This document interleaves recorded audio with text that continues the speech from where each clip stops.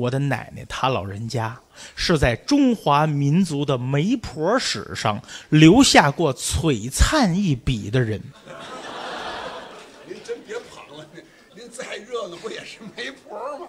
啊，媒婆媒婆，两头撮合，什么赚点吃喝，不为挣钱，咱反正就说媒婆嘛，这这好像有点藐视。啊不别别好像谁也瞧不起媒婆，你现在说这个话的啊，你媒婆没有什么，那是今天，今天允许自由恋爱呀、大家别忘了。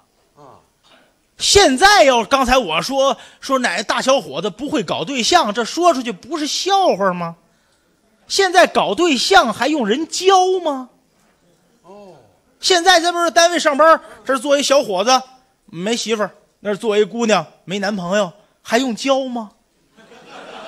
这不用教了都。现在这小伙子就知道给那姑娘发短信，哦，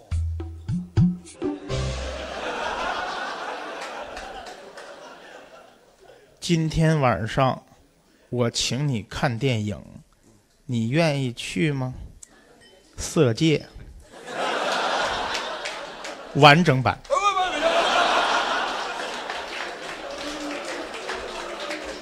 人家姑娘带人看这电影干嘛呀？姑娘也想看看。那时候这电影不流行吗？啊，行行了，这就你有这个脑子吗？没没没有，那年头哪咱还甭说解放以前，谢老师，您年轻的时候，三十多年以前，你走在街上，哎呀，看这姑娘长得真好看，你敢把人拽到这儿说两句话吗？不敢啊，那年头好。说的就是啊，咱们中国讲究父母之命，还有一句媒妁之言。我说那年头还真得有介绍人要是没有我的奶奶，啊。中华民族何以繁衍？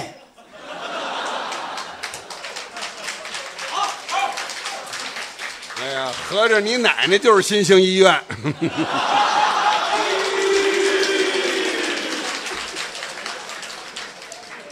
没有我的奶奶，中华民族的媒婆史就不称其为史；那是粪，没有我的奶奶，是中华民族的媒婆界就不称其为界。也叫疮。你怎么了？这不是，说了半天就你奶奶的，你怎么骂街啊？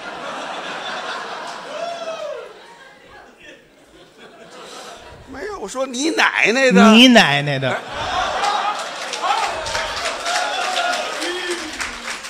我不是这意思，我说你奶你奶奶的！这话怎么？你奶奶他老人家不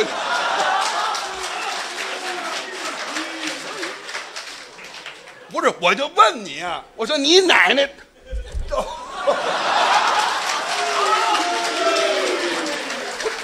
儿就得这么他老人家他老人家就得这么说，他老人家，你奶奶的，我还不是，我不是这意思，我就问你奶奶的这些事儿，你怎么知道？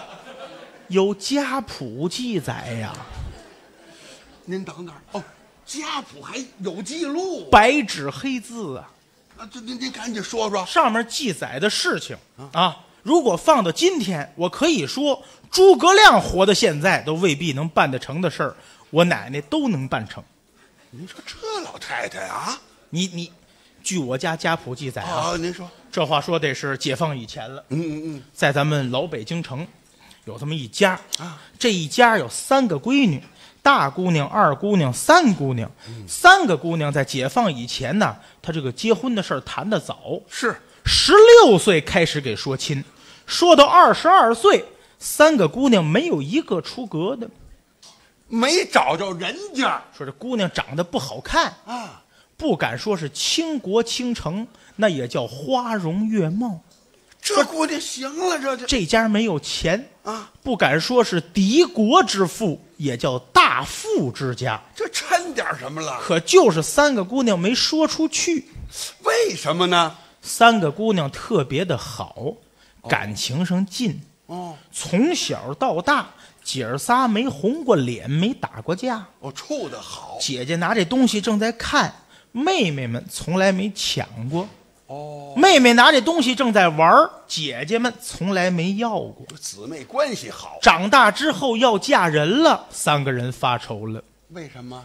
嫁人嫁人呐，嫁到谁家是谁家的人。哎，那年头就这样，姐儿仨就算分了家了，就算以后死，都得跟着人家家埋。对对对，姐儿仨舍不得，不乐意分开。跟爹妈说了，啊我们要嫁人也可以，我们有个条件，什么条件呢？我们要嫁只能嫁进一家的门，哦，进一家门就是说这家得是哥仨。哦，但哥仨咱可得说好喽啊，他得是哥仨，他要哥四个的，我们可不嫁。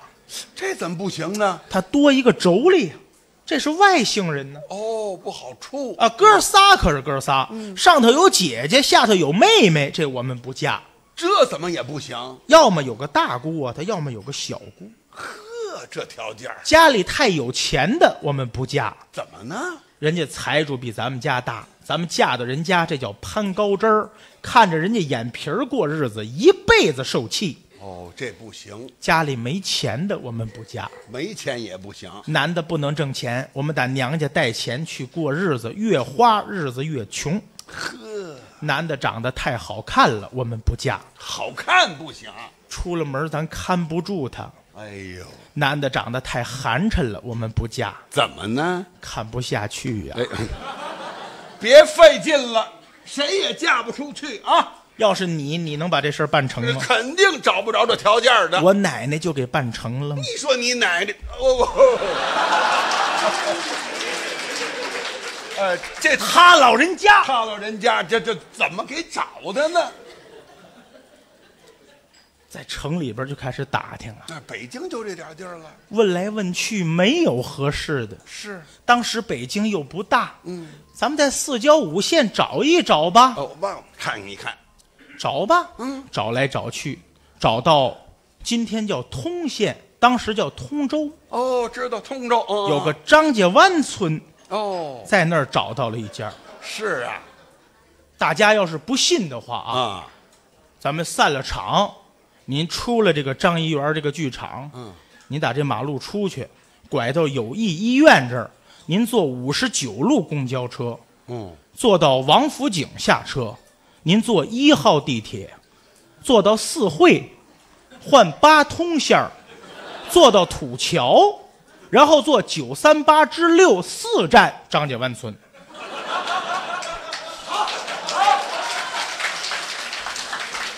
我说您是不是在那儿租的房啊？他怎么会？我怎家谱连地铁都写上了？还他妈八号线是八通线，八通线，什么还四惠站？这那年头有吗？这都这不是我为了让你听得清吗？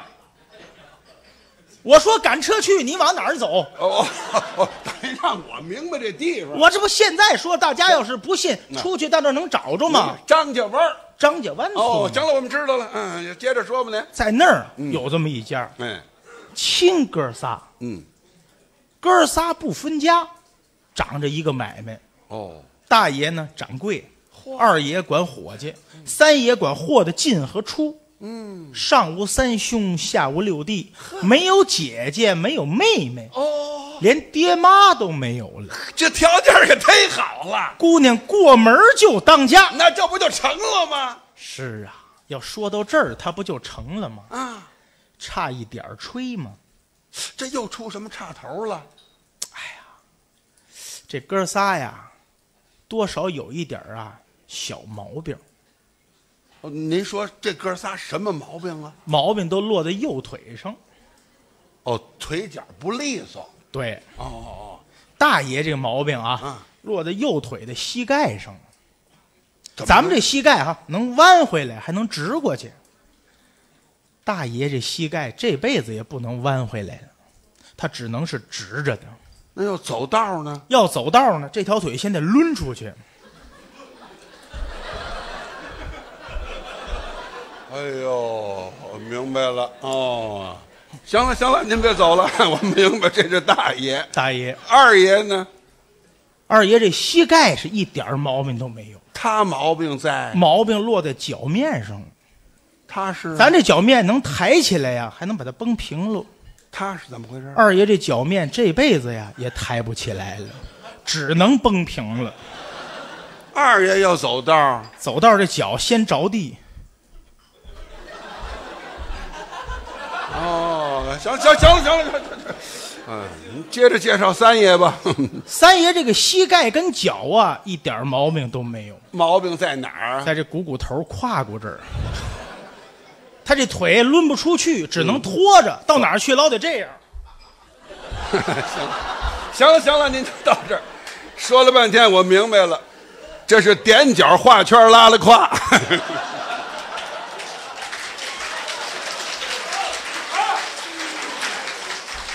是腿脚不利索，这毛病哥仨就全了，这就是，是不是这意思？大伙儿想啊，嗯就那个人家说长得不好看了都不给，嗯，这能说一眼不看就把闺女给你送过去了？那肯定得相姑爷呀，人得相一相啊，是啊人得看一看呐。见面吧。人提出来了，嗯我们去看一看行不行啊？啊，到人家串个门儿是，啊，串门倒是行，嗯，怎么串呢？这四位一一对脸儿，老丈人一看这哥仨，啊，哥仨一看见老丈人，特别激动嗯，啊！大爷这样，二爷，三爷，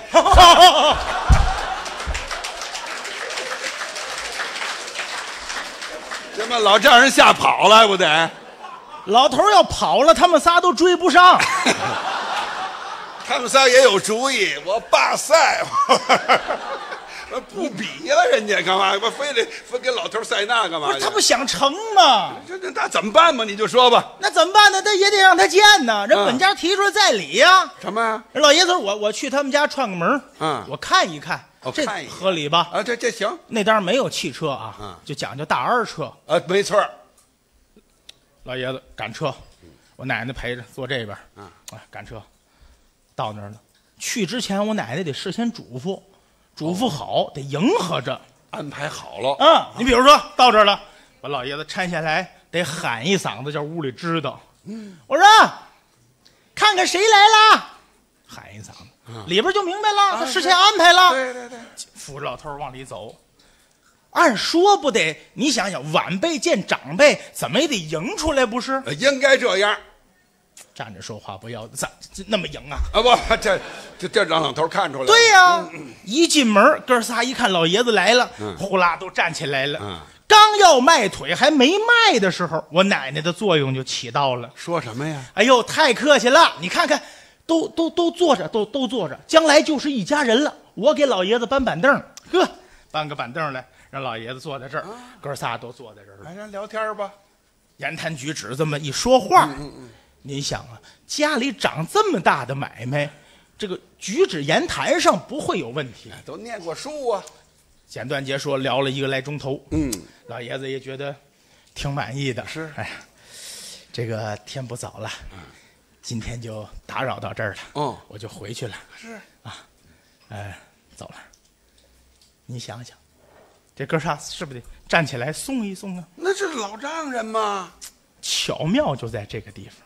怎么？大家琢磨啊，这人要往外走，肯定是脸朝外，是背朝里，是，对吧？后边发生什么你可看不见，对对。出了门你再回首说再见。对对，对这是。都那样。我奶奶搀着老爷子，是啊，来来，我我我搀着你，你看着门槛儿，哎。扶着老爷子低头往外走，嗯，哥仨抓紧时间往前倒，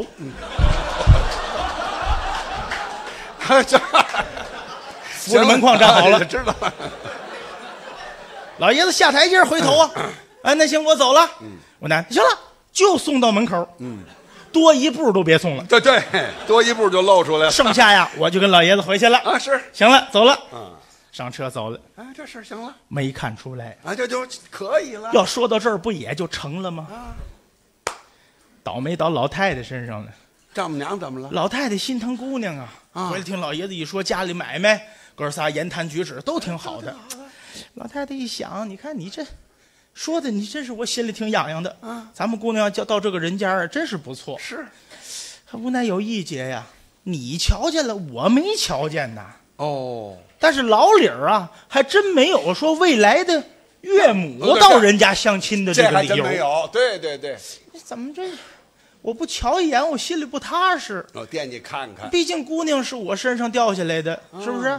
老爷子一想，那这样吧，咱把他们仨请咱家来，啊，咱也别说是这个相亲，回头成不成的，与人家面子上也不好看。这么着，咱们多请些个人，啊，咱们把咱们这个子侄啊，我的一些学生们都请来，咱就说啊以文会友，开个笔会，哦，大伙儿见个面儿写写画画，吃吃喝喝的。啊，这行。哎，成不成的呢，也不要紧的。哦，你怎么办？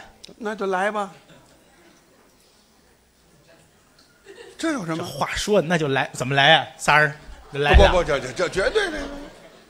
那好好几十人呢，一百多只眼睛是，在这看着。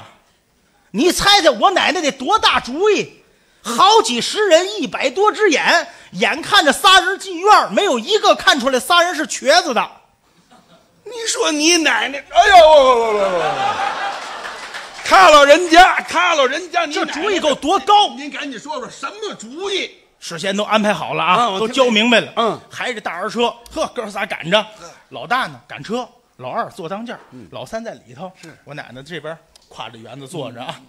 你想啊，一说新姑爷到门儿来的亲戚朋友，谁不惦记多看一眼呢？是呼啦一下，好几十人都围出来了。啊老爷子、老太太在门槛里头站着迎接着。看着，一百多只眼看着啊，嗯，这就是新姑爷了。车到这儿站住了，我奶奶下来了，嗯，一掀这个，大爷、二爷、三爷，嗯。呵，看见了吗？啊，就这个门儿。今天您进这门儿哎，今天只要您进了这门了，往后您就这家高门高婿。嚯，啊，大爷，今天叫以文会友，嗯。我知道，您这个字写得好，啊，尤其是梅花篆字。嗯今天进门之前，你得给咱露一手，嗯，写几个字。大家说行啊，拿笔墨纸砚来呀。看这话说的，大街上刮风暴土的，哪来笔墨纸砚呢？啊您哪怕在地下划了划了，我们瞧瞧呢？好好，这主意好。大爷说这没问题，来来来，我给大家写几个梅花篆字。哦，打车上下来，哎你瞧这个字，哎，你再看这个字，哇没用四步他进去了。哎，哦，写了几个字儿？这是，大伙儿这是瞧着，嗯，老爷子一看，我未来的这个大女婿文采很高啊，怎么呢？这几个字我都不认得。连他妈大爷都不认识，你不认识大爷进去了，嗯，该二爷了。那二爷怎么办？二爷下来看了看字，看了看里头，呵，呵，大哥啊，啊我这才几天没看见你啊，什么你这个字写的又见长进了。是你看看啊，啊，这笔最好，嗯，还有这笔，哎呀，你看这笔，没四步他也进去了。哎呀，这回就剩三爷一人了。三爷下来了，嗯看看字，看看里边。嗯大哥二哥，这个字儿你就写在地下，让大家来回踩呀，啊，有辱圣人名啊！怎么办？我给划了了啊哎就！他也进去了。